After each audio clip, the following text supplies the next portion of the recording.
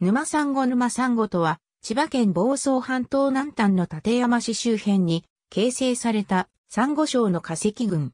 立山市周辺の沼地区での研究が進んでいたことからその名が付けられた。沼地区及び同市南城地区、同志港地区などで見られる。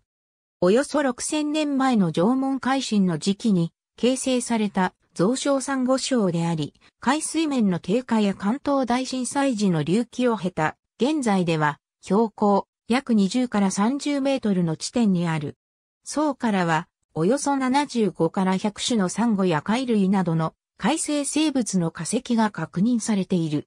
これらの化石からは増床当時の南房総が現在よりも温暖な気候で現在の奄美大島近辺の海域の環境に近い状況にあったことが判明している。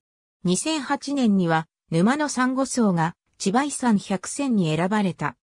立山市教育委員会生涯学習課、立山スタディ知って得する立山ガイド立山市。教育委員会。2013年3月31日。16ページ。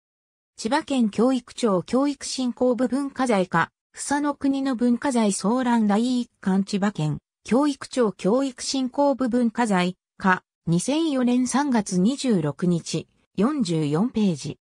千葉県指定天然記念物立山市の指定文化財、千葉遺産百選黒潮と山の恵みのゾーン。千葉県教育委員会。